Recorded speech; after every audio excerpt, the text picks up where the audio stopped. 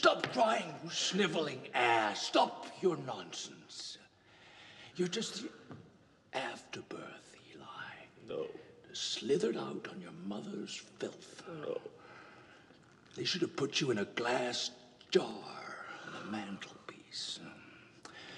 Where were you when Paul was suckling at his mother's teat? Where were you? Who was nursing you, poor Eli? One of Bandy's sows? That land has been had. Nothing you can do about it. It's gone. It's had. If you would just lose. take this lease, Daniel. Drainage! Drainage, Eli, you boy.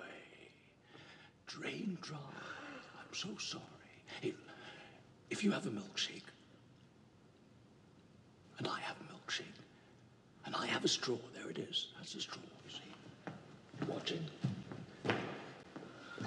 My straw reaches across the room and starts to drink your milkshake. I drink your milkshake. I drink it up.